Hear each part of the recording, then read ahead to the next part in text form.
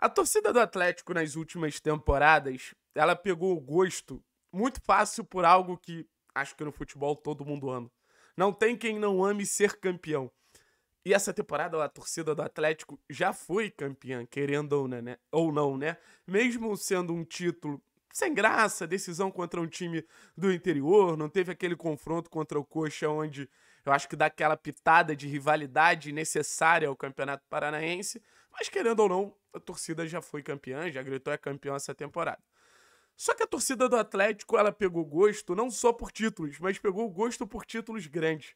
Ela entende que o Atlético tem que estar sempre disputando campeonatos da maior relevância para ganhar.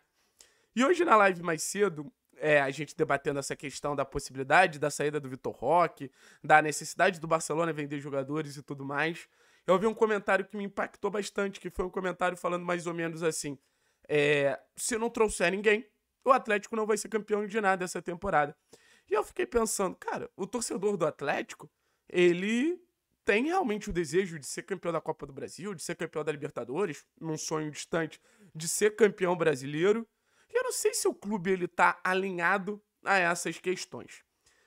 2018, 2019, 2021, que foram os últimos anos de grandes títulos, não só grandes campanhas do Atlético, a gente também teve momentos ali que parecia que a gente não ganharia. Teve momentos ali que parecia que os títulos eram muito distantes. Quando começou a Sul-Americana de 18, ninguém imaginava que o Atlético seria campeão, até pelo desempenho do clube no Campeonato Brasileiro e tudo mais. Óbvio, teve uma queda mais acentuada ainda que tirou ainda mais esperança, mas quando começou, existia uma certa desconfiança. Em 21, quando o time foi eliminado pelo Cascavel, se pensou muito, será que esse time vai dar sequência sul-americana? Em 19, depois que a gente perdeu pro Grêmio, também se pensou muito nisso. O Atlético estava num momento complicado na temporada. Então, assim, não existe um letreiro em neon avisando o Atlético vai ser campeão. Mas o debate nesse vídeo é o seguinte: dá para sonhar com o Atlético campeão? Existe um caminho para a gente realmente conquistar uma grande taça em 2023? Ou realmente está muito distante ao ponto de ser uma surpresa ainda maior que essas temporadas de conquista. Vou pedir para você se inscrever no canal, deixar o like, deixar um comentário. Cara, o like e o comentário me ajuda muito, porque mostra para o YouTube que esse conteúdo é de relevância. Aqui embaixo está passando os planos para você virar membro do canal. Faça convite, venha fazer parte da, da nossa comunidade. Tem valor de 5 até 30 reais, então você pode escolher como você quer ajudar o canal mensalmente. E lembrando que esse vídeo e esse canal é patrocinado pela KTO, a melhor casa de apostas do Brasil, que quer você ao lado né, dela e ao lado do canal 3 Pontos. Então, a gente te dá 20% de bônus quando você se inscrever lá usando o nosso código. Não perde essa oportunidade. A gente sabe que a cultura da aposta está cada vez mais inserida no futebol brasileiro.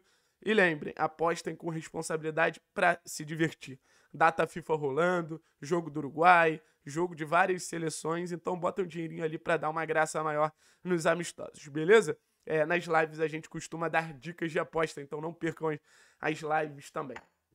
Seguinte, rapaziada. O Atlético ainda não foi eliminado de nada na temporada, tá? O Atlético foi campeão paranaense e o Atlético ele tem três frentes de disputa.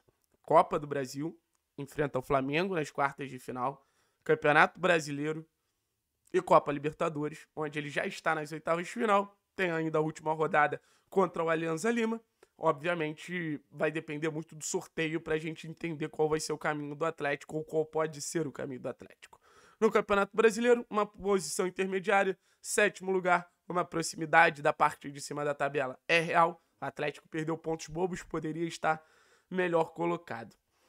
Meu grande ponto de dúvida se o Atlético pode ou não brigar por títulos não tem a ver muito com os outros times. Não tem a ver com o Flamengo, não tem a ver com os outros times do Campeonato Brasileiro, Palmeiras, Botafogo, que ocupam uma parte de cima da tabela, ou nenhum rival que a gente pode pegar na Libertadores. Minha preocupação se a gente vai ou não brigar com, com títulos é referente ao próprio Atlético. Eu quero deixar isso claro a vocês. Porque, assim, o Atlético é, joga um futebol que eu não confio. O Atlético tem ideias que eu não confio. A maneira de ver futebol do nosso treinador, eu não confio. E a partir de tanta desconfiança e de tanto entendimento que o jogo que o Atlético executa é perigoso e é mal feito, muito porque é mal treinado, faz eu pensar: será que vai ser uma temporada de título? Será que é possível ser uma temporada de título? Ou será que realmente a gente vai ter que se contentar em lutar para se classificar para a próxima Libertadores? O que na teoria não é ruim, mas eu acho muito positivo e incômodo. A gente quer ser campeão. A mentalidade vencedora do Atlético, ela precisa partir de todos os lados do clube, do vestiário, da torcida, da diretoria, dos funcionários, da comissão técnica. Então, assim, não adianta o torcedor querer ser campeão, não adianta o torcedor pensar em taças se a comissão técnica ela não faz um trabalho que corresponde a esse sonho, que corresponde a essa expectativa. Então, meu grande ponto de dúvida é esse. Se o Paulo Turra, de alguma forma, conseguir melhorar o trabalho dele, aí eu boto muita fé, mano. Eu vou ser bem sincero com vocês. Aí eu boto muita, muita, muita fé.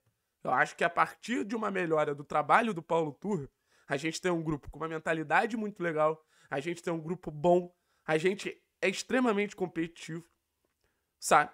Só que hoje, para um Atlético ganhar um jogo, ele tem três pilares principais: Bento, Fernandinho e Vitor Roque. Isso para mim é muito claro. Eu acho importante a gente entender como o Atlético ganha os jogos. Fernandinho e Vitor Roque são jogadores que são mais responsáveis para como o Atlético faz gol. Óbvio que tem responsabilidade sem bola, mas são responsáveis de como o Atlético faz gol. E sem eles, parece que o Atlético tem muita dificuldade de fazer gol. Porque o Fernandinho é o cara do passe, é o cara que, que distribui o jogo, é o cara do último ter de fazer a bola e chegar bem no último terço, e o Roque é o cara da finalização. Fernandinho deve voltar aí julho, agosto, e deve ser uma peça fundamental até o final da temporada. Perdendo o Vitor Roque, eu acho que a gente vai ter uma baixa nessa construção de vitórias do Atlético. Só que se tem um cara que eu acho que o Atlético não pode perder de jeito nenhum, é o Bento. Porque a estratégia do Atlético, que é ter um jogo reativo, que é esperar o adversário, que é jogar em bloco baixo, naturalmente, como o próprio Eric falou, cede muitas finalizações ao adversário. Então, o que, que isso acaba gerando, essa série de finalizações? Gera perigo ao nosso gol. E a partir do momento que a gente sofre perigo no nosso gol, o que, que acontece? A gente precisa de um grande goleiro. A gente precisa de um cara que faça a diferença no gol. Então, assim, eu acho que o nosso sonho passa por esses caras também. Eu vou fazer até um vídeo é, falando melhor sobre esses três pilares, Óbvio, o Atlético tem ótimos coadjuvantes. O, Atlético tem o Thiago Heleno, que querendo ou não é um belíssimo zagueiro. Tem o Christian jogando muito bem, o Eric jogando muito bem, o Canóbio crescendo na temporada, o Fernando se afirmando. Outros jogadores que têm brilhos e a gente sabe da capacidade técnica deles, como é o caso do Terãs, como é o caso do Vitor Bueno, mas acho que depende muito desses três. Perdendo o Vitor Roque, a gente perde uma peça importante? Perde. Mas também não é impossível. Não é impossível. Mas acho que o Atlético precisa se defender melhor. Acho que o Atlético precisa ter uma melhora tática, uma melhora coletiva, uma melhora do trabalho do Turra. Contar com esse grau de mentalidade foda que o clube tem. De crescer nos jogos grandes, de não se abalar nos jogos grandes. E acho que pode ser um caminho de título, sim. Mas hoje depende muito mais da nossa comissão técnica do que de qualquer coisa. Se a nossa comissão técnica der respostas e encontrar soluções, fazer o Atlético ganhar jogos com mais facilidade, pô, eu tô super dentro, mano. Acho que a gente pode realmente alcançar um título, quem sabe numa Copa aí. Vai que a Libertadores ela vai acontecendo, Copa do Brasil vai acontecendo, não sei como a gente vai pegar o Flamengo. Vai que o Flamengo tem desfalque de X, Y, Z, ou vai que o Flamengo tá no mau dia. A gente sabe que o Atlético vai competir, a gente sabe da mentalidade do Atlético. Mas só mentalidade não serve. Você precisa, principalmente quando você quer se defender, ter uma bagagem tática importante. E hoje eu não consigo ver essa bagagem tática no Atlético, infelizmente. Mas não é impossível dessa bagagem tática chegar. A gente está tendo uma paralisação da, da data FIFA e tudo mais. E, e é uma oportunidade desse trabalho acontecer. Só que esse trabalho precisa acontecer bem. A gente não tem mais muito tempo para ficar preparando a equipe. A gente está desde janeiro nessa história de preparar a equipe e melhorar a equipe taticamente. Chegou o momento de ver algo mais concreto. E taticamente, coletivamente, está difícil ver algo mais concreto.